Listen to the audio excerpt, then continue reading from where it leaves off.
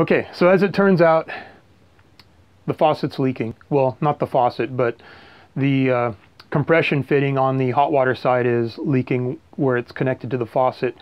And originally I had the leak was on the cold water side. Now the hot water side's leaking after I removed and replaced the, uh, the faucet. So um, essentially what I'm going to be doing is I'm going to be replacing it with, uh, with this product as I explained. I had, I had this as a backup. And I'll tell you what, if I hadn't been really paying close attention to that faucet, I probably wouldn't even noticed that it is leaking. And I think that's, you know, I think that tells a story of how fragile those connectors are. So hopefully these other connectors are an improvement. So on this one, what I have apparently is, um, this is a half inch in PSM out and that should connect perfectly with the kitchen faucet that I have. Essentially, um, what they're measuring is uh, this uh, this thread here, this half inch thread size, where it threads. This is the old faucet here, where it threads to that. So that's that half inch measurement. And then there's an inside diameter um, where this little white plastic piece that little white plastic piece goes and it snugs up in there and that's where the, you get that, uh, that compression fitting. So this is going on. This is what the bag looks like. And in order to um, attach that, I'm going to have to cut that PEX line. So I have this. And essentially it's just the inexpensive uh, PEX tube cutter. So this is supposed to work for half inch up to an inch.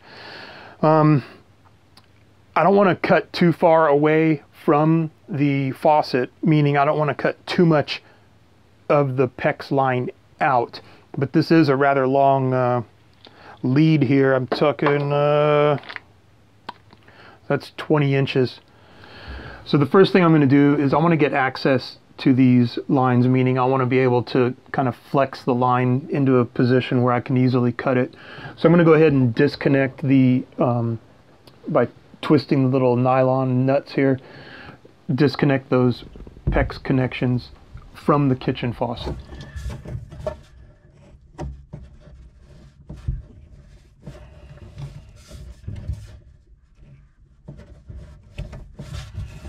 I had the faucet valves open to drain any pressure out. I was able to get those off. I have my trusty cereal bowl to catch the water. And now that I'm looking at the uh, at the distance I have, so those faucets there, they have a good bend to them. And what I think I'm going to be doing is, uh, I think I'm going to cut more than I anticipated. Um, it's not really what I want to do, but I'm going to cut a longer length of that PEX line. So I'm going to go ahead and remove uh, this little panel here. The, the sealant's already cracked, so I'm just going to move that out of the way and get to cutting.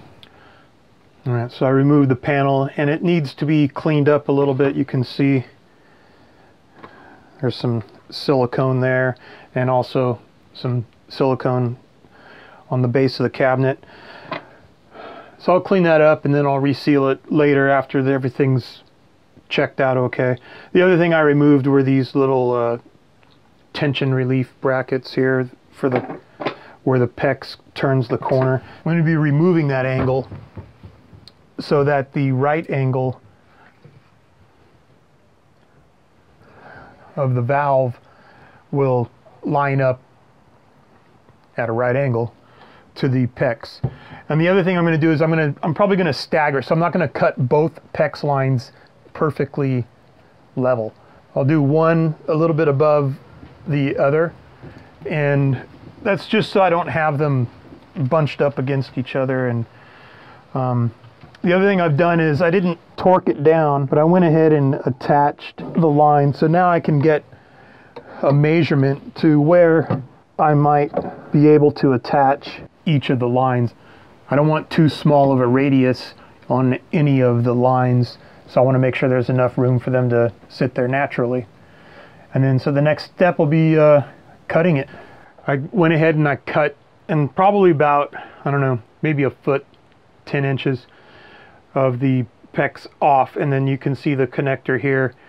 And that's, that's the uh, inside of the connector there. This is where I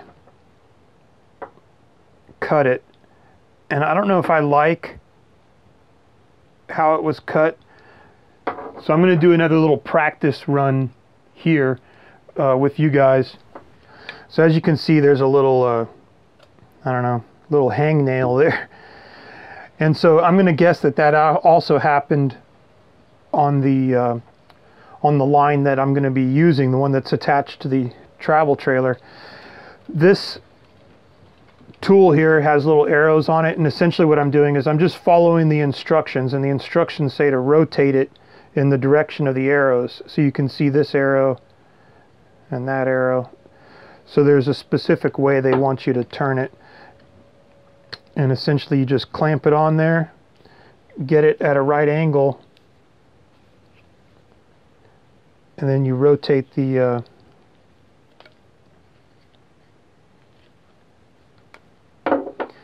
you can see how it's if you don't do it straight then you're going to have that little that little uh, edge there. Now I now I know why there's a, a pro tool version of this. So with this angle it's going to be tough but let's see if I can get another practice shot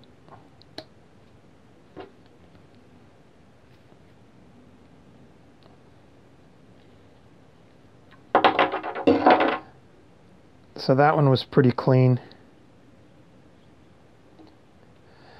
There's also a deburring tool, and I don't have that, so that's why I want to make sure I get this correct. All right, so the second time around that I used the cutting tool, I was a lot more successful, but I used all of the slack that was afforded to me when I removed that extra panel and whatnot, so I really, it took a lot to get in there and, and use the tool appropriately. So the instructions illustrate that there's a specific depth that you need to insert this fitting here. And essentially you just push it in and then that's that's it. It's connected. There's this uh, little sleeve and you can put that in after the fact. Okay. Well I have the connections on. I pressed them onto the PEX uh, tubing. And what I did was I just used my cereal bowl here to purge the air out. There they're connected. And you can see the, the valves are in the closed position. This is pressurized. I have the I have the pump on. I can look at them here. I, I mean, they're dry. They're dry as can be. I can feel the warmth on on uh, this one here. So uh, it looks like mission accomplished here. I just got to reconnect the uh, the fittings here to the sink and uh, I don't know. I guess time will tell. Hopefully this is a good solution because what I want to do is I want to attach the kitchen faucet here uh, that came with the with the trailer. I want to put that on the uh, on the bathroom sink. So I'm going to use these these SharkBite lines, but I'm going to test it out first. And uh, but at any rate, I'm going to consider this. Uh, I'm going to consider this complete. And thanks for watching, guys. I really appreciate it.